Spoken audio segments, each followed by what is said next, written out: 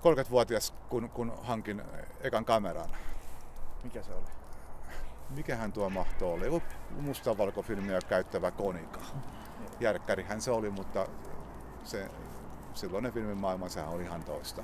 Se oli toinen maailma ja monihan aina haikailee ja, ja aikakultaa muistot sanotaan ja sitä haikaillaan ja katsotaan taaksepäin, mutta tota, nyt on pakko sanoa rehellisesti, että pätkääkään haikaile sitä aikaa. Kyllä se oli, kyllä se oli onnetonta, onnetonta aikaa. Ja tota, vasta, vasta nyt kun, sanotaanko nyt viimeisen 6-7 vuoden aikana, niin, niin tota, luontokuvaus on sitä, mitä mä kuvittelin sen silloin jo olevan, jota se ei ollut. Että katsotaan ikään kuin kiikarin lävitse ja sitten jossain vaiheessa painetaan nappia.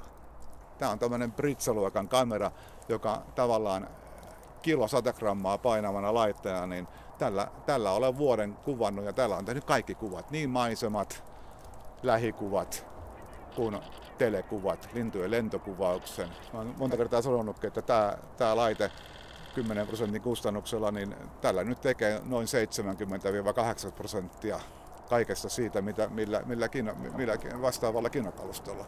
Eli ei siis aivan, mutta good enough, riittävän hyvä.